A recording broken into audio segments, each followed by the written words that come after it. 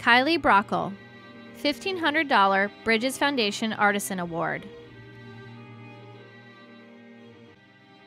Kylie Brauchle is a senior at Liberty High School and a cosmetology student at the Bethlehem Area Vocational Technical School. Her long term goal is to become the best hairstylist she possibly can, and one day she would like to have her own salon.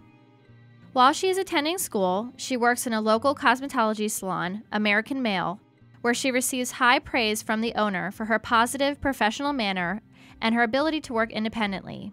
She is a team player, creative, and has an excellent work ethic. Kylie is very cooperative and she has uh, outstanding work ethic. She'll do whatever I ask her to do in order to make the clinic successful.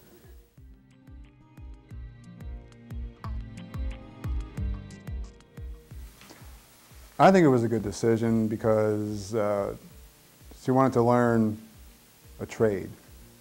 And I think that was a good place, good school for her to, to learn something like that. Yeah, I, I supported it all the way. I would have liked to have gone when I was her age, and it just didn't work out. And, and I'm glad she got a chance to go because I, I think it's it's a good good uh, choice for a trade. She participated in the Breast Cancer City of Hope Cutathon, the Cosmetology After School Clinic, and she achieved perfect attendance from 2005 to 2007. I plan on becoming a stylist and getting involved in makeup and I also plan on hopefully one day opening my own salon.